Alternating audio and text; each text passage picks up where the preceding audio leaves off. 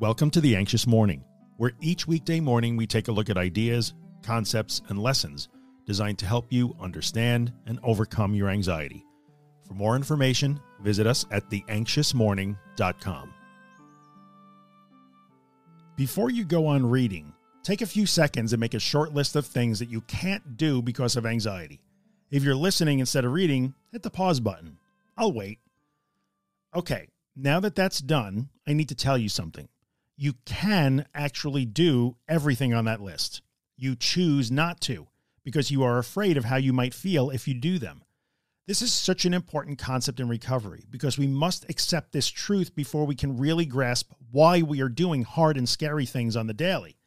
If we continue to insist that we can't, then we get frustrated quickly with this process and run the risk of declaring that it doesn't work for you. When we choose to avoid because we do not want to be afraid or uncomfortable, and when we do this again and again, things get a bit twisted in our minds.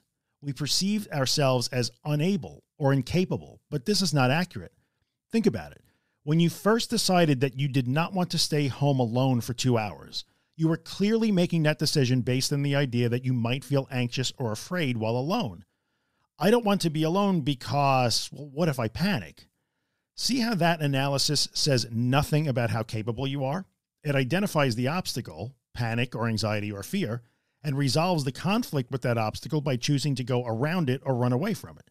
In those early days of avoidance and escape, you did not say you couldn't. You knew that you were choosing not to for a very clear reason. Over time, though, this morphs. We stop seeing the avoidance and the escape strategy, and instead we simply say things like, I can't work because of my anxiety. This is a slow and quiet process, and it is insidious because after enough time, you have yourself convinced that you can't do things anymore. You perceived obstacles as limitations you adopt the avoidance choice as a defining characteristic of who you are. I choose to avoid situations that make me uncomfortable, or I can't do most things. Look at the huge difference in those statements.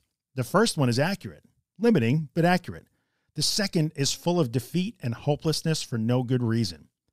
If you take anything out of today's edition of The Anxious Morning, let it be the hard truth that you could always do these things but that you chose not to, then repeated that choice.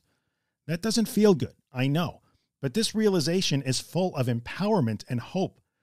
Let me be clear in saying that I am not accusing you of choosing to suffer or saying that your situation is somehow your fault. Not at all. Humans are experts at avoiding discomfort, so nobody is blaming you. I am only pointing out that when you step back, blow the dust off, and really look beyond your assertion that you can't, you give yourself a fighting chance to start moving in a new direction.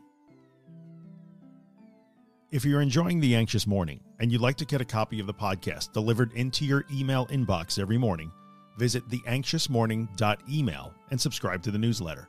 If you're listening on Apple or iTunes, take a second and leave a five star rating, maybe write a small review. It really helps me out. And finally, if you find my work useful and you'd like to help keep it free of advertising and sponsorships, you can see all the ways to support the work at theanxioustruth.com slash support. Thanks so much.